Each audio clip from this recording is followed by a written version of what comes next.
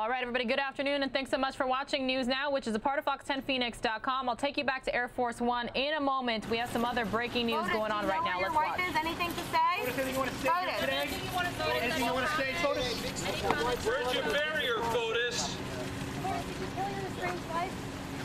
Fotis, is that you on Albany Ave? Want to make any sort of Any sort of comments you want to say, Fotis? Thank you. Me. Get the fuck out of the way. All right, everyone, sorry so much for those audio issues right there. Again, they popped up Air Force One on us live, and then they took us here to Stamford, Connecticut. That is Fotis Dulos, the estranged husband of Jennifer Dulos, who pleaded not guilty today in connection to the disappearance of his wife and is expected to walk out of a Connecticut courthouse. There it is. It was expected and it happened.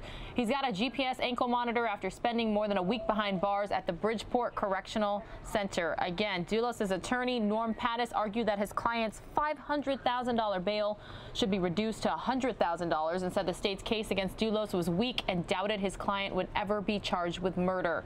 State's attorney Richard Colangelo argued at a brief hearing that Fotis Dulos' DNA was found mixed in with his wife's blood on a faucet in the kitchen of her new Canaan home and that bond should be raised to $850,000. The judge kept it at $500,000. So this is a case we've been covering for quite some time and will continue to. There's a lot of camera movement going on there, so I'll take you back to Air Force One.